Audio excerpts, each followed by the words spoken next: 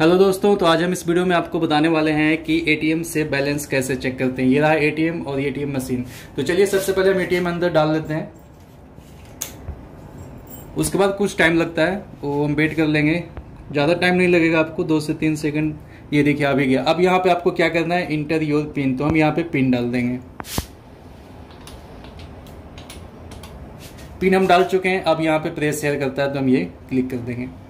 उसके बाद आपको यहाँ पे देखिए बैलेंस इंक्वायरी का एक ऑप्शन आ रहा है, ये देखिए।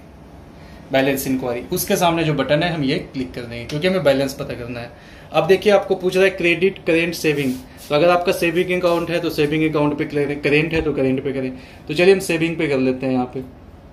उसके बाद जो भी बैलेंस होगा, यहाँ पे डिस्प्ले हो जाएगा आपके अकाउंट का।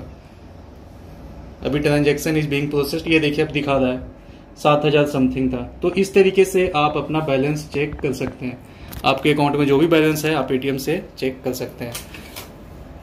तो यही था वीडियो दोस्तों, अगर आपको वीडियो पसंद आई है तो वीडियो को लाइक और शेयर कर दें।